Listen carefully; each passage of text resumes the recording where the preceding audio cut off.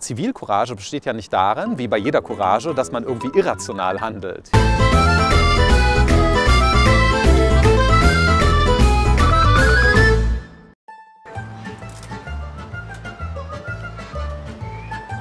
Stell dir vor, du siehst bei der U-Bahn zwei Kinder, die streiten. Gehst du da dazwischen? Ja, da werde ich natürlich schon dafür sorgen, dass zum Beispiel niemandem was passiert, also dass kein Kind aufs Gleis geschubst wird und so weiter.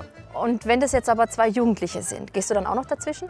Ja, da ändert sich die Lage natürlich sofort. Erstens könnten die auch mal ein Messer dabei haben, das hängt also ganz von der Situation ab.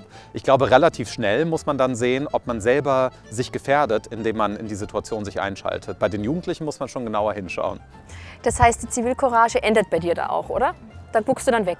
Ja, äh, weggucken ist etwas anderes. Ich glaube, Zivilcourage besteht ja nicht darin, wie bei jeder Courage, dass man irgendwie irrational handelt. Ja? Also wenn ich irgendwo einen Terroranschlag sehe, dann stürme ich ja nicht da rein und versuche irgendwie eine Schlägerei mit den Angreifern anzufangen, sondern dann muss man dafür sorgen, dass diejenigen, die die Situation lösen äh, können, eingeschaltet werden, indem man zum Beispiel die Polizei ruft. Okay, bei den Jugendlichen kann man das ja noch verstehen, aber stell dir vor, das sind jetzt fünf Typen und eine Frau.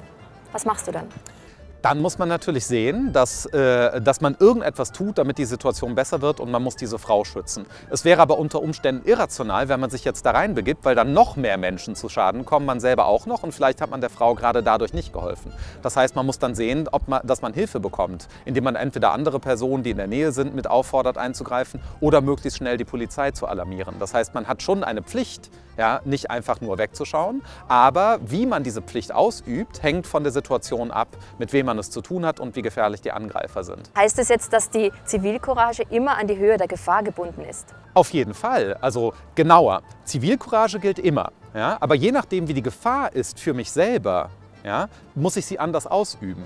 Das, was klarerweise ausgeschlossen ist, ist wegschauen, in die U-Bahn steigen, nach Hause fahren und hoffen, dass es niemand gesehen hat. Deswegen sind wir ja zur Hilfe verpflichtet, auch juristisch, ja? weil Zivilcourage ein Gebot ist. Aber wie man sie ausübt, ist eine andere Frage. Niemand kann von mir verlangen, ja, weder das Recht noch die Moral, dass ich mein eigenes Leben opfere, um das Leben einer fremden Person zu retten. Ich habe ja auch eine, ein Recht auf Selbstschutz. Zivilcourage ist nicht unbedingt. Von uns darf niemals verlangt werden, dass wir Helden sind, sonst leben wir in einem schlechten Staat. Nur ein schlechter Staat hat Helden nötig.